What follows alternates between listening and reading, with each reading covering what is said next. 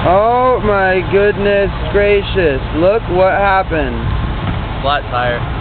Why? I ate before we got in the car. What'd you eat? A hamburger. It was too much weight. Did you have fries? Yeah. That's why, you moron! I told you! I told him not to get any french fries, and he got him supersized french fries, and now look! That's what happens. Kids, do your research. I got a shake too. He got a milkshake! Eat your broccoli.